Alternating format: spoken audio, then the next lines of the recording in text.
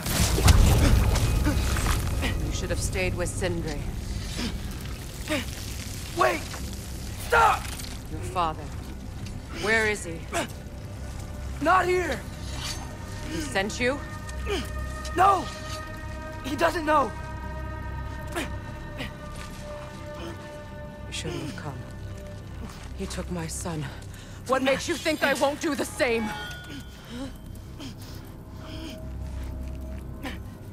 You're better than this!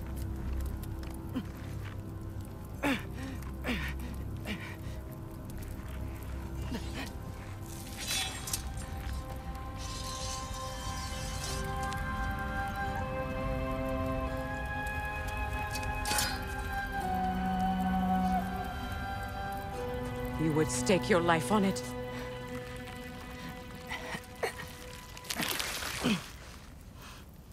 What do you know of me? I know you haven't killed me yet. So while you're thinking it over, why don't you let me go and I can tell you why I came? You mean to plead for your father, save your breath. His fate is sealed. But you know who's to blame for everything. I cannot get to Odin. Nor do I need to. Ragnarok will take him. Yeah? Well, what if I told you that he came to Midgard? He came to us. Offered peace if we don't move against him. Claims Ragnarok's already been averted. He lies. Maybe. But if you know Groa's prophecy, you know it depends on an army of giants. The Giants wait for war in Jotunheim. No. I've been there. There is no giant army. There are no giants at all. Just me. You.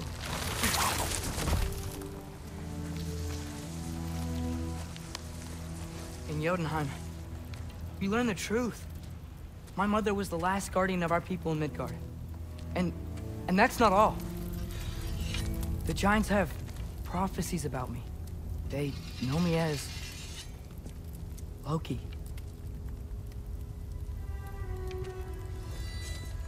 I think maybe I'm supposed to help stop Odin. Somehow.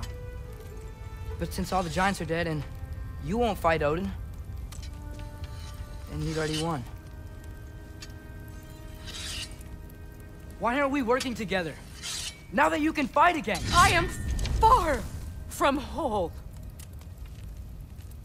Okay. Okay. But we found Tyr.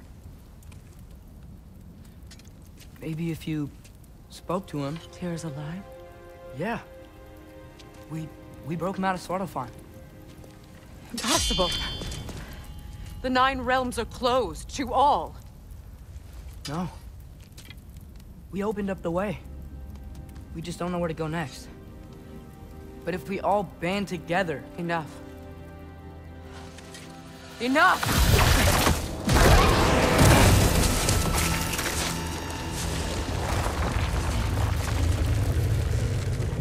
Leave this place. Go and do not return. Go before I change my mind. Do not expect the same mercy for your